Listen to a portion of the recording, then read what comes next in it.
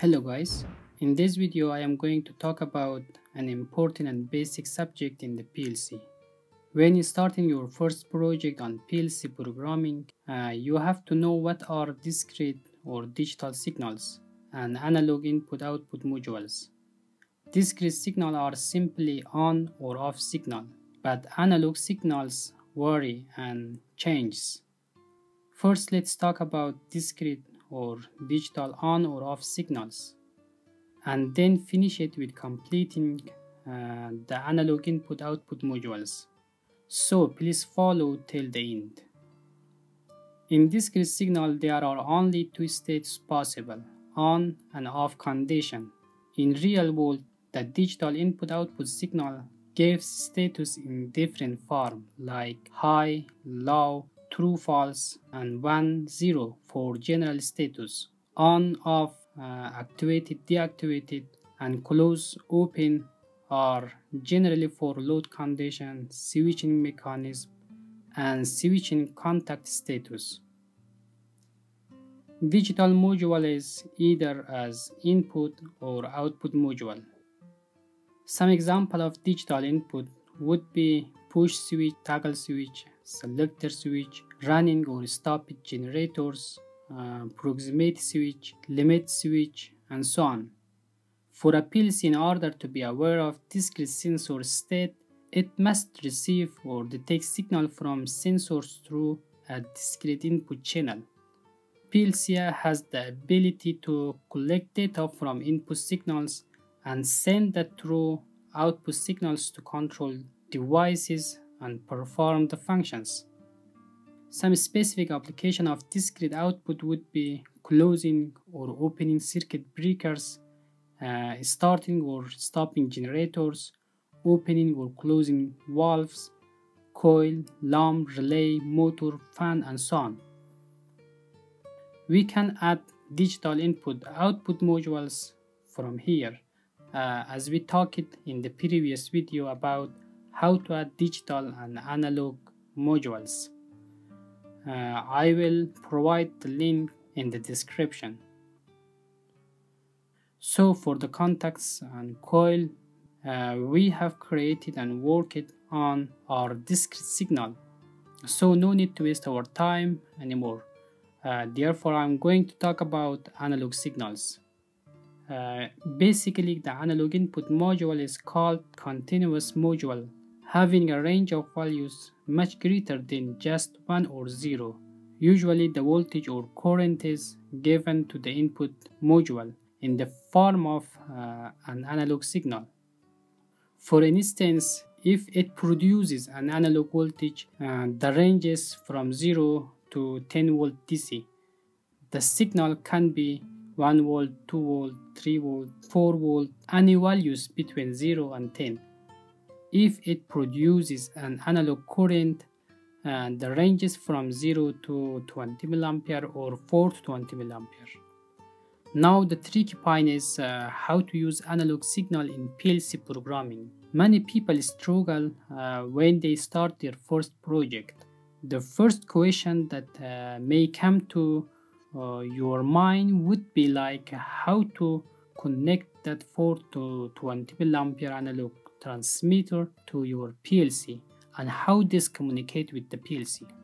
PLC can communicate uh, with analog inputs through analog input module. This is a hardware components and converting analog signals from sensors or any other device into digital signals and then will processed by the PLC. Since PLC can only work with two values 0 or 1 and therefore to understand how analog input work uh, in a PLC you need to know binary numbers. Binary number is uh, the numbering system used by a PLC or any other computer. Binary number is 0 or 1 and there is no 2, 3, 4, 5 and 9 there is uh, a big subject behind binary numbers but here I will not go in more details just uh, understand it in the PLC In PLC programming, um, binary numbers are generally used to show discrete values, such as on-off states, uh, Boolean logic, or digital signals. Many PLC analog signal is represented by a word. A word here uh, typically refers to a group of binary digits or bits. In PLC, uh, binary numbers are typically shown as 12 bit, 16 bits, uh, or 32 bits, and so on. It depends on analog modules. For example, if it is 12 bit, uh, the range that you need to use for the scaling is 2 to power of 0 to 2 to power of 12 uh, which can be equal to uh, 0 uh, to 4096 binary numbers with 16 digits represents values from 0 to 2 to power of 16 or 65,535. Here, the resolution is very important when dealing with analog uh, in PLC programming. If you enter uh, the analog input card, the signal ranges between 0 to 32,767 gives us a certain regulation uh, that I always use it in the back of uh, software.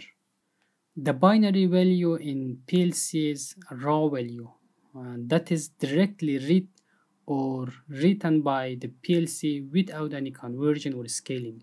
Raw values like uh, reading temperature, pressure, and so on. Therefore, raw values need to be converted or scaled to different units or ranges depending on the application and devices or sensors which are used. Suppose that uh, we have a temperature transmitter of uh, 0 to 400 centigrade uh, and the analog module of uh, FLA0402L.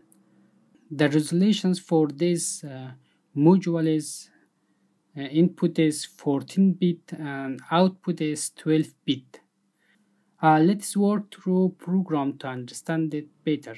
In the previous videos, we discussed how to add modules, so no need to explain again. Uh, here, uh, I'm going to convert it all into 420 milliampere.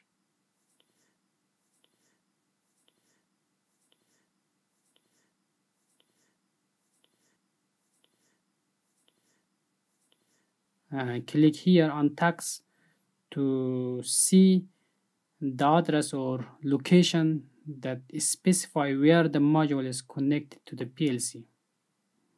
Uh, then click here to hide uh, system tags. Now you can see uh, the tags of the entire channel uh, slot 01 analog input channel 1, slot 01 analog input data channel 2, and so on uh, with data type of D dword. Here in the main block one, uh, you can start to write your project. First, uh, we need to convert this data type to real. From conversion, uh, select any two real blocks, uh, connect input to the first channel of your module, uh, name it as output as uh, output 1 uh, doesn't matter any name that you like it to measure the minimum and maximum value of the analog input signals uh, you need to determine the range. Uh, so to do that uh, on the right side from maths select scaling linear conversion.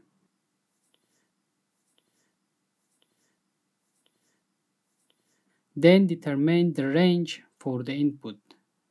Minimum range is 0 uh, and maximum range is uh, 16384 uh, because it is 14 bit and 2 to the power of 14 is equal to these numbers for the output uh, you must apply the same range as your device here I am using a temperature transmitter uh, in range of 0 to 400 centigrade.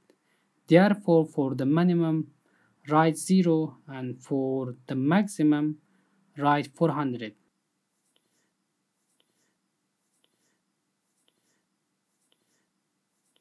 Now let's run the program. Uh, it is not connected to real PLC. Uh, we just run it as a simulation mode.